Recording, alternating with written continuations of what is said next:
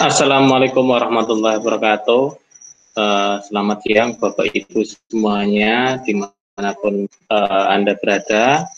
Saya akan berbagi informasi setelah saya melakukan konsultasi daring melalui Zoom meeting Direktorat eh, Jenderal Pendidikan Guru dan Tenaga Pendidikan, Kementerian Pendidikan dan Kebudayaan, uh, hal ikhwal tentang kenaikan pangkat untuk jabatan fungsional guru. Yang pertama, uh, mohon izin saya akan me melampirkan screenshot hasil diskusi serta konsultasi online yang saya lakukan di hari Selasa untuk sesi siang dari pukul 13.20 sampai dengan tadi pukul 14.00 waktu Indonesia bagian Barat.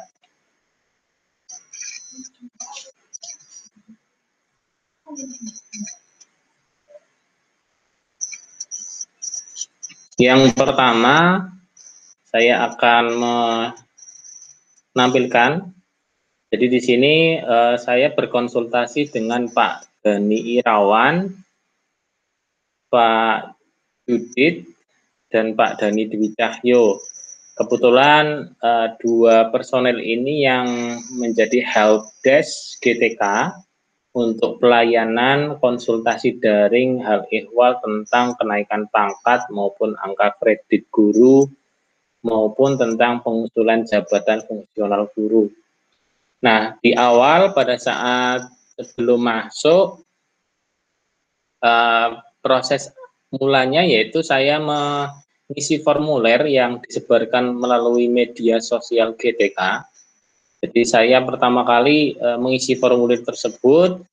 Setelah mengisi formulir, langkah selanjutnya saya memasukkan pertanyaan apa yang nantinya disampaikan sebagai bahan pertimbangan untuk e, ditanggapi atau e, diprioritaskan untuk bisa konsultasi secara daring. Jadi Bapak Ibu e, nanti akan menerima email apabila pertanyaan tersebut direspon oleh kementerian. Ini saya akan coba tampilkan hasil dari inbox email saya. Jadi akan mendapatkan notifikasi email dari Humas Ditjen Guru dan Tenaga Pendidikan seperti ini.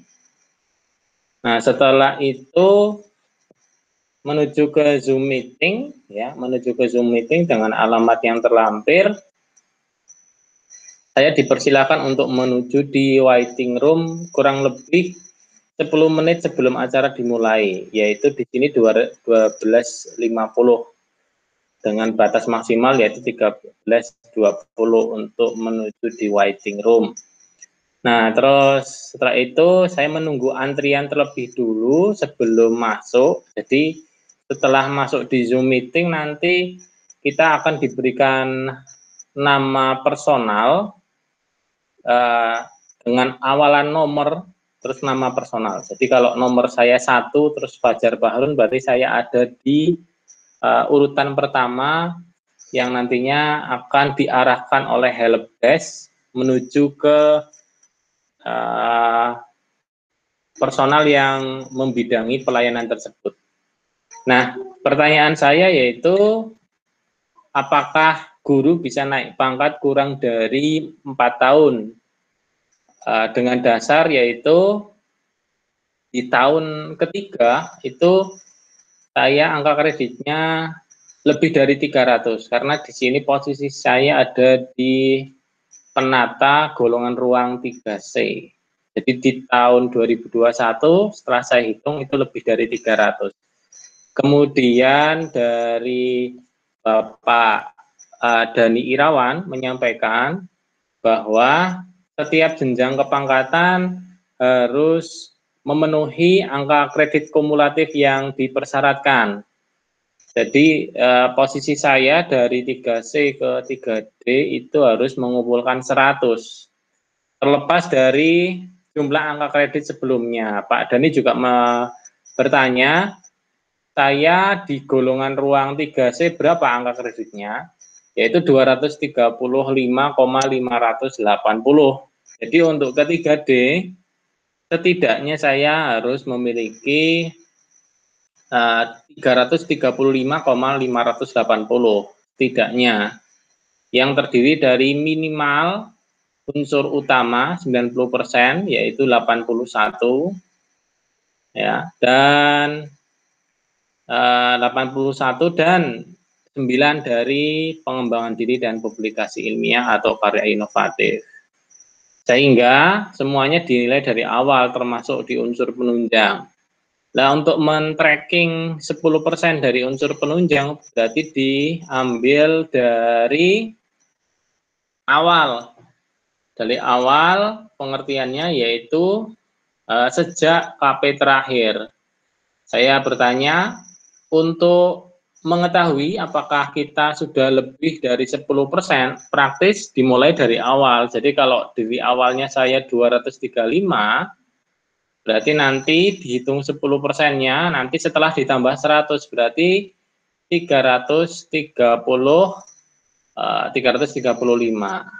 Jadi itu akumulasinya ya, 10% dari awal. Nah, lebih atau tidak. Jadi dengan demikian maka sejak awal atau setelah KP terakhir semua unsur dihitung dari awal. Jadi tidak ada istilahnya kelebihan dari 10% dari sebelumnya. Nah, dan untuk akumulasi nilai unsur utama baik itu pembelajaran 81 dengan rata-rata minimal nilai predikat baik ya 81 dibagi 4, 20,25 itu predikatnya baik. Itu dilakukan selama eh, 4 tahun, termasuk di PD dan PG.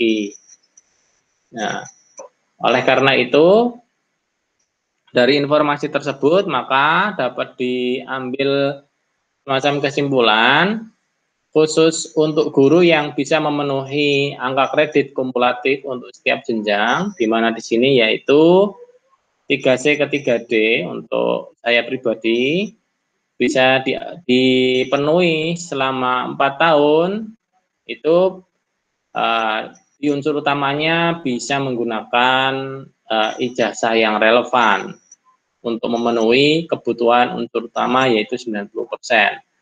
Karena apabila dilaksanakan secara 4 tahun, nilai 100, berarti unsur penunjang yang nilainya 10 itu apabila tidak dipenuhi selama 4 tahun harus dipenuhi dari unsur utama.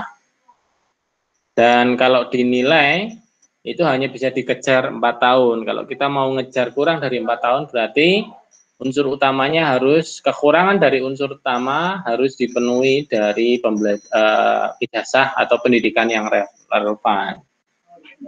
Jadi seperti contoh katakanlah untuk ijazah yang relevan itu nilainya 50. Berarti kita uh, ambil contoh untuk ngambil jangka waktu kenaikan pangkat katakanlah uh, dua tahun. Maka hitungannya 50 ya Uh, misalkan di sini posisinya uh, izin belajar ya. Kalau tugas belajar otomatis kita tidak bisa naik pangkat dua tahun. Artinya di tahun kedua kita mengajukan kenaikan pangkat tidak bisa. Uh, berarti di sini katakanlah nilai di pangkat sebelumnya itu 235. Berarti untuk pangkat ketiga D penata tingkat satu berarti uh, setidaknya nilainya nilainya 335. Berarti di dua tahun katakanlah saya izin belajar, saya juga masih melaksanakan tugas kegiatan belajar, nilainya katakanlah predikatnya baik, berarti 20,25. Ini saya akan coba masukkan uraiannya, misalkan izin belajar. Ya, ini 50. Di tahun pertama nilai PKG saya baik, yaitu 20,25. Tahun kedua nilainya juga sama, 20,25. Ya. Ini pun kalau ditambah nilainya baru 40. 40,5 ditambah 50. Ini sudah 90,5. Nah, ini unsur utama ya. Kita lihat di sini pembelajaran 81. Berarti kita punya kelebihan yaitu kelebihan unsur utama dan pendidikan itu kelebihannya 9. Nah, ini kalau 81 ditambah 9 kan 90 ya. Nah, eh, kita harus tetap memenuhi PD dan PIKI ini selama dua tahun itu. Kalau kita mau target dua tahun itu juga mau mengajukan kenaikan pangkat. Nah, jadi setelah ini kita penuhi, berarti ini ditambah dengan 9. Oke, 3 plus 6. Oke, 90,5 ditambah dengan 9. Ini baru 99,5. Nah, sisanya ini yang 10% dari unsur penunjang ya. Jadi uh, ini kan 81 plus 3 plus 6 kan 9 ya, 90. Nah, yang 10% ini maksimal ya. Nah, ini diambil dari unsur uh, penunjang yaitu misalkan mengikuti jadi uh, kegiatan pramuka maupun organisasi profesi yaitu PGRI. Ini yang kebetulan yang diakui ataupun Satya Lencana 0,5 ya ini ditambah salah satu saja pramuka atau PGRI ini sudah lebih dari 100 posisinya ada di 100,25 nah mungkin itu yang bisa saya sampaikan. Jadi kalau untuk PNS guru khususnya bagi yang mau naik pangkat kurang dari empat tahun sepertinya hanya bisa dipenuhi dari uh, ijazah atau pendidikan yang relevan. Karena di luar itu ya otomatis yang harusnya empat tahun jadi tiga tahun otomatis kita berkurang 20,25 ya ini ya. Nah, nilai 20 itu kalau dipenuhi dari publikasi ya berat sekali. Atau dipenuhi dari pengembangan diri juga. Kemungkinan bisa tapi untuk jamnya itu ya platnya lumayan banyak dan sejauh yang saya tahu dari beberapa tim penilai itu me menyangsikan kalau nilainya terlalu besar itu yang terjadi di khususnya di Kabupaten Purbalingga. Uh, demikian informasi uh, ini semoga bisa memberikan uh, ya sharing informasi kepada teman-teman semuanya, baik khususnya uh, guru maupun uh, bagi tim penilai. Dan untuk berikutnya mungkin uh, alur yang bisa Bapak Ibu tempuh ketika akan melakukan konsultasi, saya akan coba sharingkan. Kebetulan sudah saya share di Facebook saya, Ibu semuanya. Bapak Ibu bisa melakukan konsultasi daring melalui nah, jadwalnya ini sebenarnya ada ya ada di hari Senin, Selasa, dan Rabu. Ini kebetulan konsultasinya ada beberapa macam, ada yang khusus kurikulum di hari Senin, ada PGP, eh, ada pendidikan profesi guru, ini juga ada PPG kaitannya. Jadwal di hari Senin untuk pagi itu jam 9 sampai dengan jam 11, sedangkan untuk jadwal siang jam pukul 1 sampai dengan pukul 3 waktu Indonesia Barat.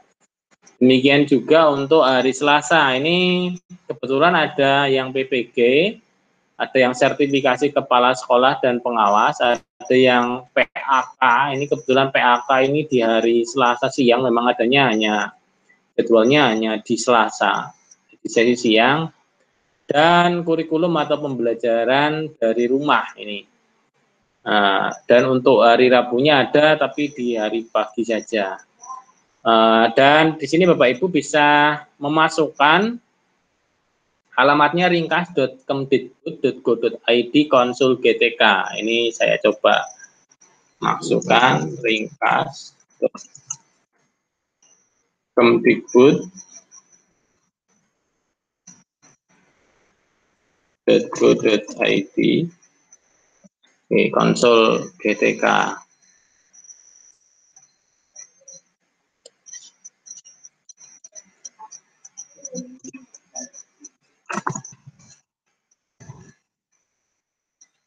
Oke, sebentar. Ini saya tulis di sini.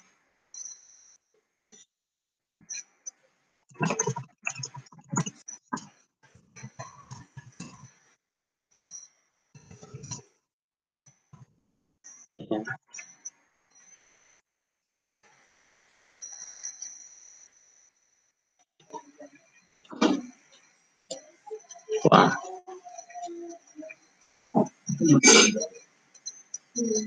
Nah, nah, ya.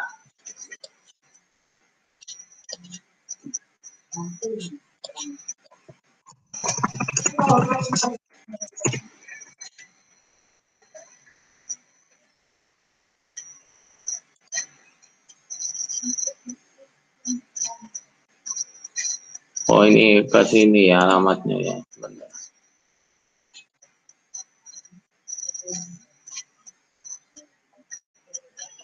Ya, kema mungkin itu ya Bapak Ibu yang bisa. Ini kebetulan mungkin linknya sudah broken ya. Linknya sudah ganti lagi atau bagaimana ini. Tapi uh, seperti itu tetap pantau saja Bapak Ibu. Nah ini kebetulan juga ada ini ya. Nah ini coba saya coba dari sini. Ternyata uh, memang sudah ganti mungkin ya. Nah, uh, itu yang bisa saya bagi Bapak Ibu uh, untuk bisa mengikuti perkembangannya mungkin bisa mengikuti uh, di Instagram, di Twitter, Facebook ataupun di YouTube ya. Demikian dari saya uh, tetap semangat Bapak Ibu melakukan uh, tugas amanah untuk memajukan bangsa melalui pendidikan. Saya akhiri, bila taufiq wal Assalamualaikum warahmatullahi wabarakatuh.